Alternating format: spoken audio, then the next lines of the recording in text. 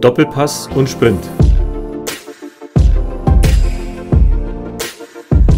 Bauen Sie zwei rote Hütchen im Abstand von 3 Meter, ca. 20 Meter neben dem Tor auf.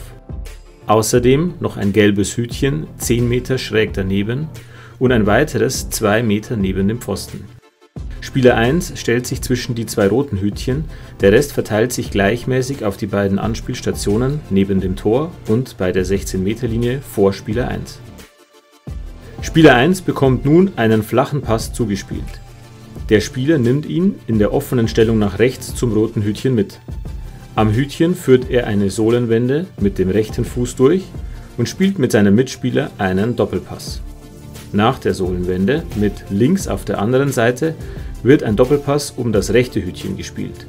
Spieler 1 schießt den Ball ins Tor und sprintet danach um das gelbe Hütchen und bekommt dort einen zweiten langen Pass zugespielt.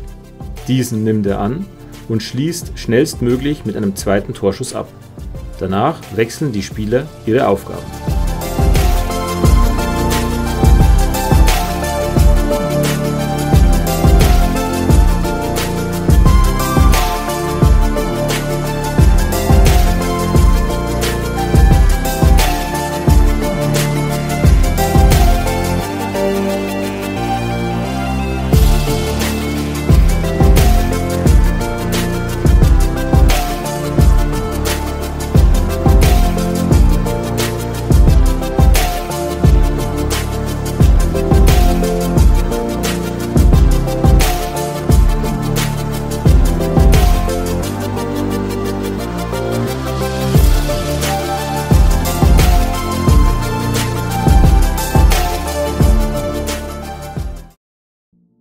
Erneut wird ein flacher Pass zu Spieler 1 gespielt.